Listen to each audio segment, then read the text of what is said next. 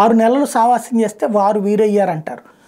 చివరికి స్మగ్లర్లని గంజాయి స్మగ్లర్లను పట్టుకోవడం ప్రారంభించి ప్రారంభించి చివరికి పోలీసులే గంజాయి స్మగ్లర్లుగా మారినటువంటి ఉదంతం తాజాగా సంచలనం సృష్టించింది. హైదరాబాద్లో పట్టుబడ్డారు ఆంధ్రాకి సంబంధించిన ఇద్దరు పోలీసులు గంజాయి స్మగ్లింగ్ చేస్తూ.